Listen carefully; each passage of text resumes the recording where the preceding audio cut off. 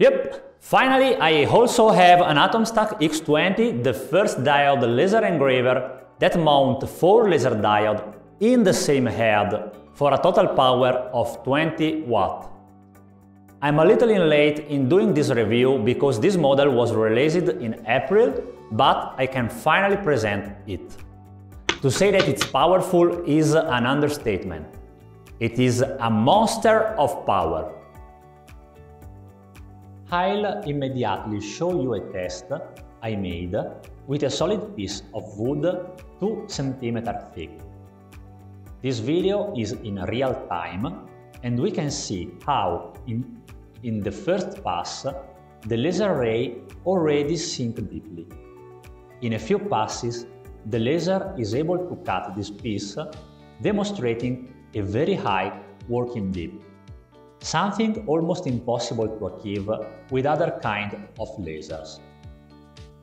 This laser achieved this result thanks to its enormous power and a long focal length lens.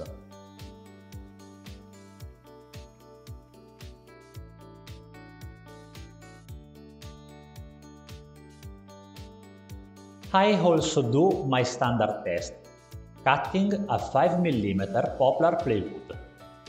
The AtomStack X20 can cut in a single pass, where a 10 watt laser requires two passes while a classic 5 watt laser requires 4 to 6 passes to complete this test.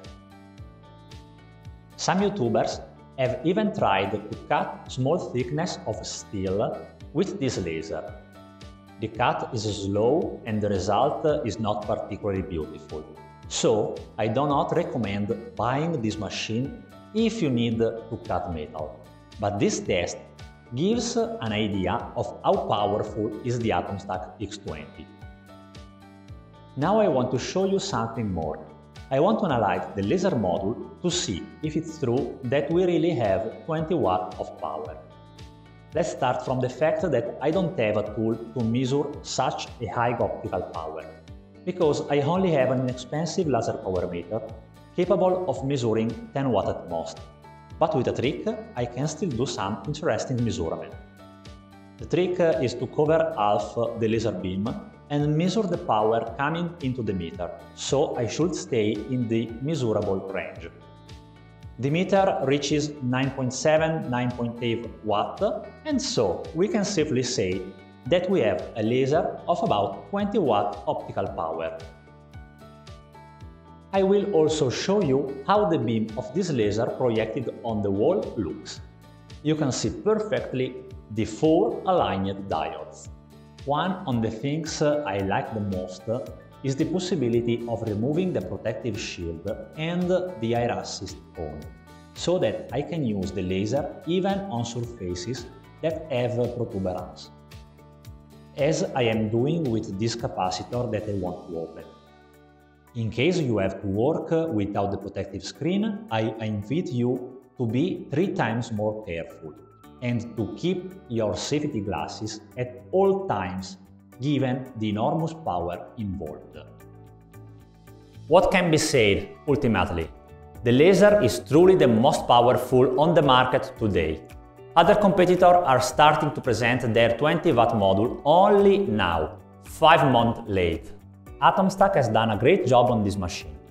The design has remained almost the same, even if to support the weight of the new laser head, they have replaced the light mechanical parts with double side bar.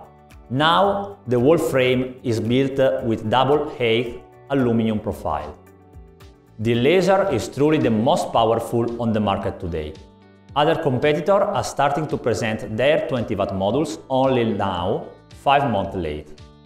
The cost of this machine is still very high. We are talking about uh, $1,000. At this point, one wonders if it is not uh, worth buying a CO2 laser for the same amount. To answer, it's necessary to bear in mind that compared to a CO2 machine, diode machines are extremely comfortable, practical, light and easy to handle. In my opinion, all point in favor of AtomStack X20. However, we keep in mind that similar model, but with 10 watt optical laser and the air assist system easily reach 600 $700. So, all in the price of 1000 is in line with the market. We will see what happened now to the price, seeing that the competitor are also started releasing equivalent 20 watt models.